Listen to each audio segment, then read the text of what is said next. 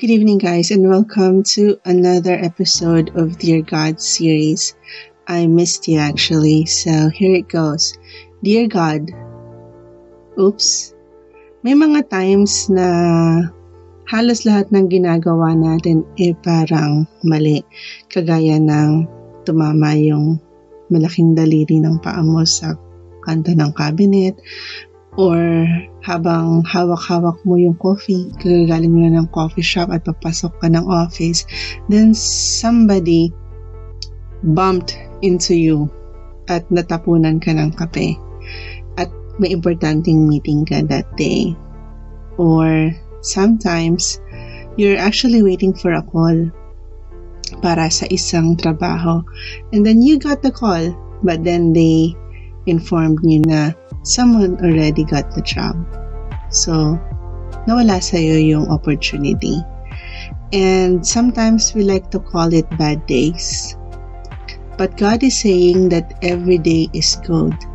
Bakit? Because every day is a gift from Him.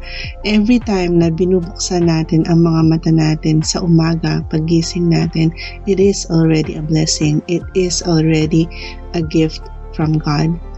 And there is always something to be thankful for every day, which is nakakalimutan lang natin.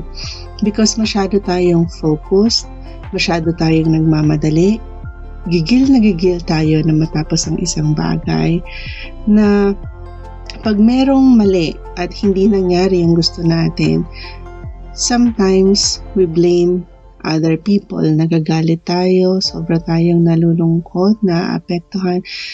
And worst is we blame God pag hindi nangyari yung gusto natin.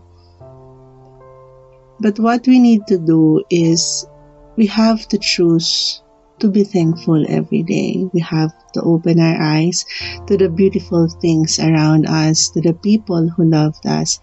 Minsan kasi nakakalimutan natin yon sa sobrang focus natin sa mga bagay na gusto nating ma-achieve. And when we have that attitude of being grateful and thankful every day for all those things, even little things, that bad day, God can turn it to a good day. And let us end this video with a verse from Psalm 118, verse 24. This is the day that the Lord has made, and we will rejoice and be glad in it. So stay blessed, stay safe, and have a good night.